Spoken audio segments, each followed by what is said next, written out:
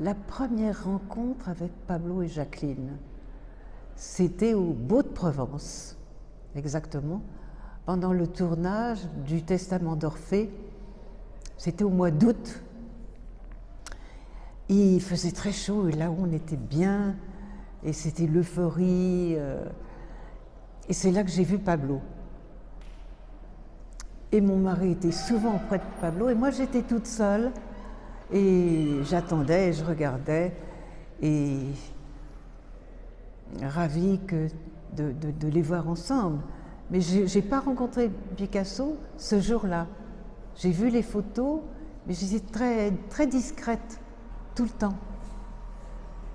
Pour moi, Picasso était, euh, avec toute l'admiration que je pouvais avoir, mais j'étais très timide, comme, comme on l'est au début, puis quand on connaît son œuvre déjà, et que, euh, que mon mari était déjà très lié avec les Picasso avant moi. Et au mois d'août 59, et puis après, je crois j'ai dû, on a dû se rencontrer dans le courant de l'année, et nous sommes allés à Notre-Dame-de-Vie. Et c'est eux qui voulaient absolument nous voir et me connaître. Donc on arrive chez les Picasso, on part en voiture. Euh, J'étais pas impressionnée du tout.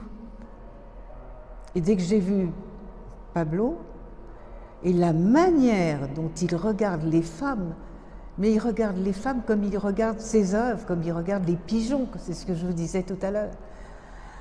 C'est pas parce que la femme est une femme, il regarde ce qu'il a envie il crée, ça va.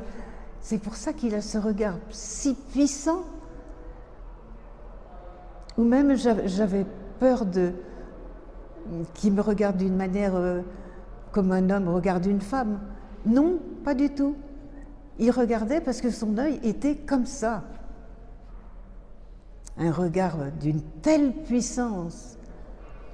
Et pendant de nombreuses fois, quand nous allions chez eux, je détournais du regard, tellement j'avais peur de fixer son regard. C'est des choses qui ne s'inventent pas. Il était comme ça, avec tous les gens qu'il rencontrait. Une puissance euh, peu commune,